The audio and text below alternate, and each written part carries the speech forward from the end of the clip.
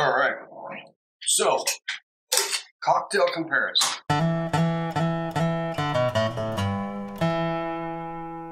We have a Uptown Cocktails, which is a strawberry margarita coming in at 13.6 proof.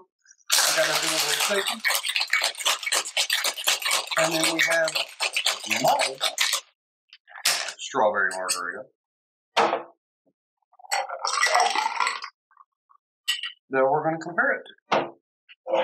Now, I do have a video where I made a strawberry margarita. So, if you would like to see that, it is right here. We'll link to it. Well, they look pretty similar. I have to admit that. They both smell good. I could smell the strawberry from the can. I can also smell strawberry from my build it. So this smells a lot more alcoholic than mine. Mine smells a lot more strawberry. You can really smell the fresh fruit. And they give a pretty healthy squeeze of the strawberry flavoring that we use. And it is a real strawberry. The, uh, actually, let me just grab it and show you. So this is the strawberry flavoring that we're using. Yep, pretty good stuff. Again, if you'd like to see me make one of those and see how I make one of those, the video is up on top. I've already shown you the link. Let's get into it. First, the competitor.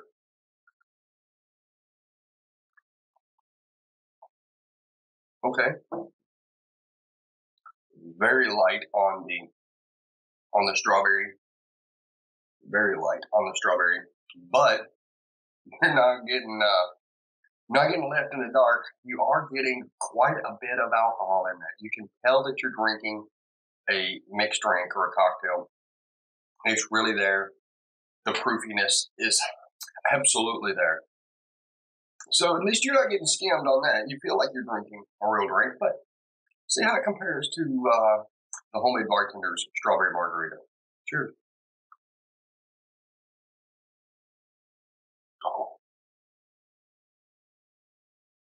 So this one, I can taste the alcohol, but I don't taste tequila. I also don't get very much strawberry.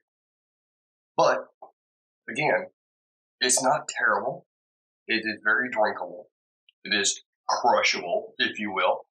But if I was really wanting to drink a margarita, I want to tell that I'm actually having some tequila without being slapped by the tequila.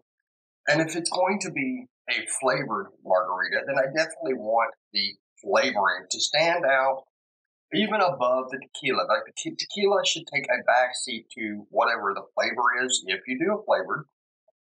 And that is exactly how this one stacks up. It's it's really what you're looking for in a margarita. I've got light, nice flavors, sweetness, and then there is that little kick of the tequila at the end. This is just kind of like if you made one with like Everclear. That's just what I get out of it. All right. That's all I got for you today. Go get you some. We'll see you on the next one.